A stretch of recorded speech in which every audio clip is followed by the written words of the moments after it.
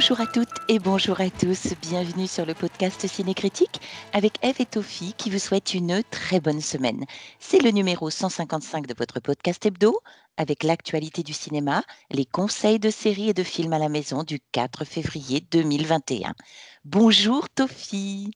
Bonjour Eve et bonjour à tous. Et avec ce numéro 155 de Ciné Critique, eh bien nous fêtons exactement trois ans d'existence puisque nous avons démarré le numéro 0 un certain mercredi 31 janvier 2018.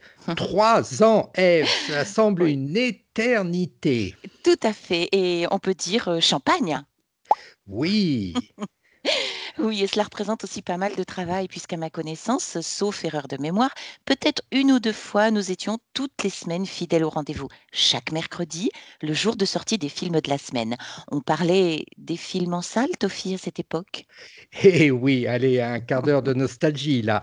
Eve, mais non, allez, trêve de sentimentalisme, on arrête de regarder dans le rétroviseur et on vous propose de parler du futur maintenant. Et on va rester dans le registre des films à la maison encore quelques semaines, puisque les salles de cinéma et de théâtre sont toujours fermées. Et on commence, Eve, avec un événement dont on ignore s'il faut en rire ou en pleurer. Allez, oui, on se retient de sourire. Pour le prochain film de James Bond, quatre fois reporté, certains des sponsors de Mourir peut attendre ont demandé de retourner des scènes, expliquant que leur investissement pourrait être frappé d'obsolescence. On parle bien sûr ici de placement produit.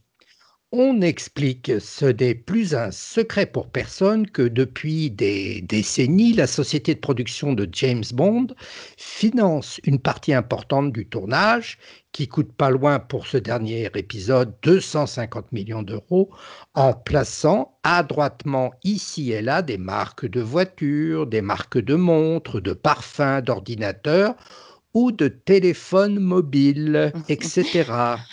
Ces investissements réglés en échange marchandises ou en cash sont soumis, comme les scénarios des missions bondiennes, à des règles strictes, régies en l'occurrence par des stratégies marketing aussi subtiles et machiavéliques que les plans du MI6, le service d'espionnage où officie le beau James.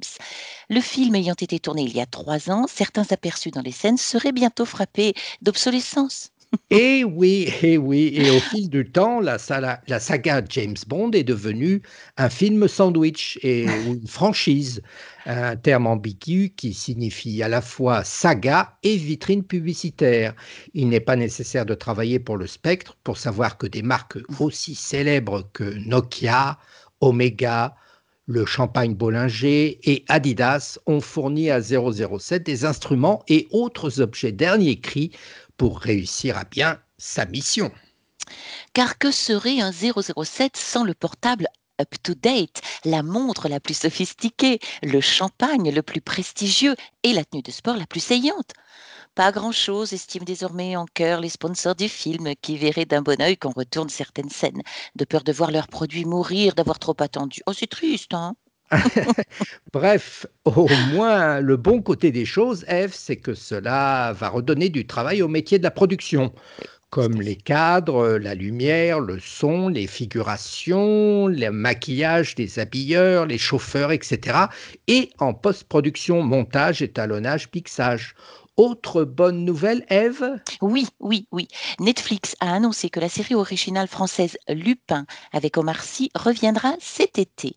La série, véritable phénomène mondial qui a été numéro 1 du top 10 de Netflix dans plus de 10 pays, sera de retour à l'été 2021, chouette, avec une partie 2 composée de 5 nouveaux épisodes. Ils sont réalisés par les réalisateurs français Ludovic Bernard et Hugo Gélin. La série est produite par Gaumont Télévision.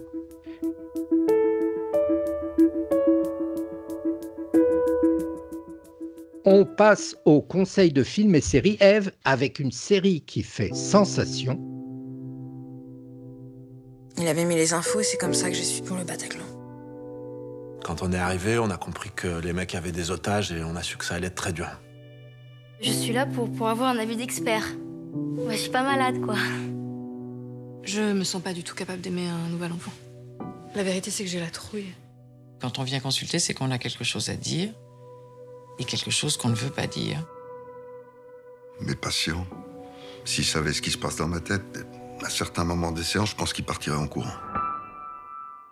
Et quelqu'un d'autre? Après, me dites pas que vous en êtes pas rendu compte. Et rendu compte de quoi là? Je crains de ne pas vous suivre.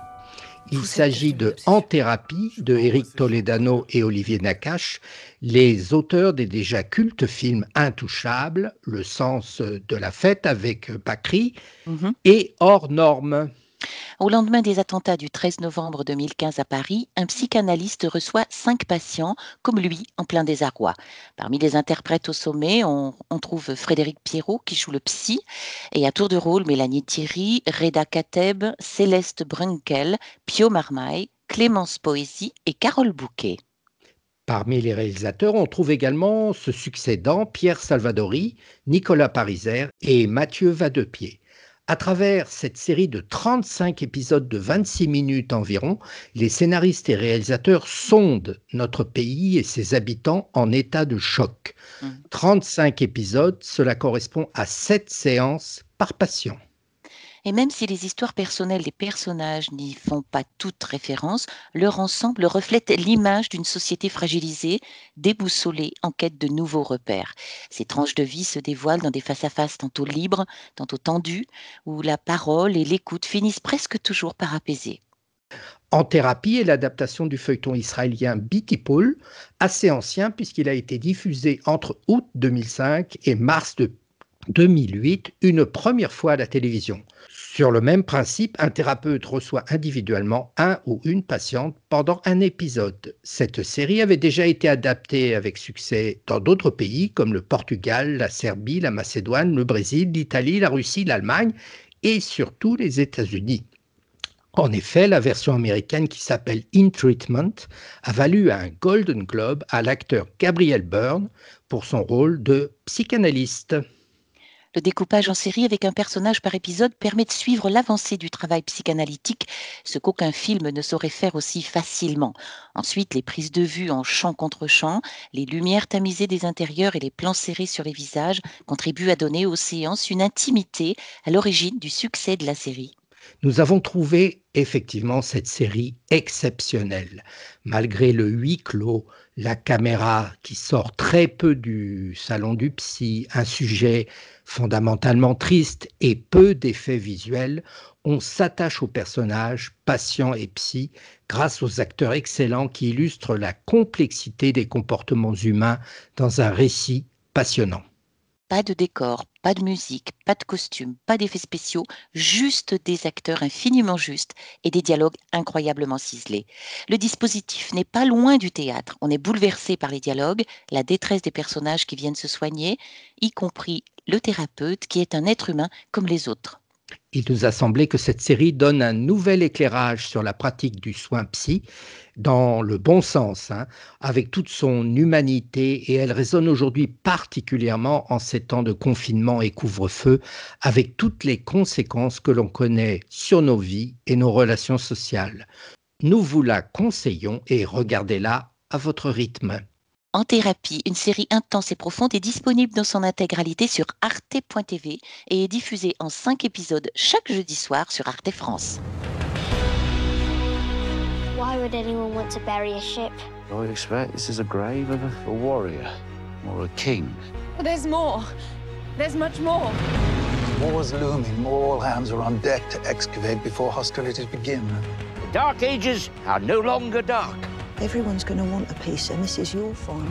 On change de sujet et d'ambiance pour notre seconde préconisation, un film maintenant, et c'est un mélodrame britannique délicieusement romantique qui s'appelle The Dig, de l'Australien Simon Stone avec Ralph Fiennes et Karen Mulligan.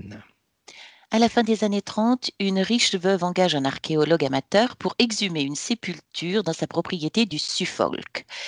Il découvre alors un ancien navire funéraire saxon et son trésor qui pourrait bouleverser l'histoire de l'humanité. Ensemble, ils doivent se serrer les coudes face au British Museum qui entend bien s'emparer du vaisseau en prétendant l'avoir découvert. Cette bonne surprise qui nous est proposée par Netflix nous montre à partir d'une histoire relativement classique une mise en scène et des ambiances douces et sobres autour des fouilles. Il y a des moments d'émotion et même de triomphe, notamment lors des séquences de découverte, mais l'ambiance générale est sobre, calme, réfléchie, en lien avec l'urgence, car, car la guerre imminente risque de sonner l'arrêt des fouilles.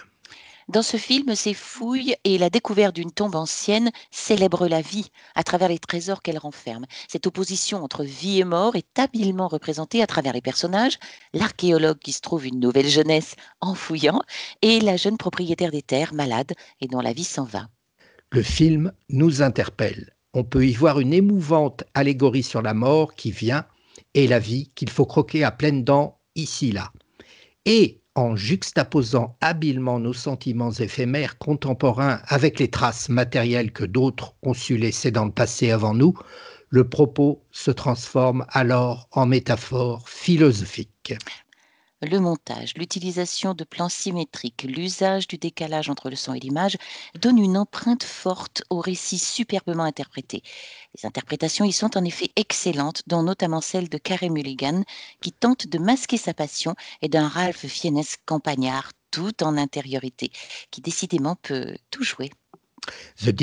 Est un poème intense et poignant, doux par son histoire et amer par son contexte historique.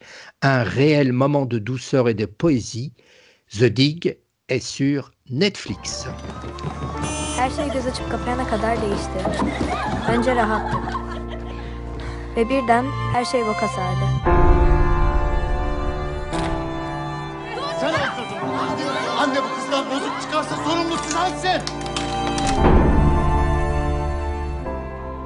Troisième film conseillé cette semaine, Tofi, c'est le film franco-turc de Denise Gamze Ergüven et son premier film sorti en France en juin 2015 qui s'appelle Mustang.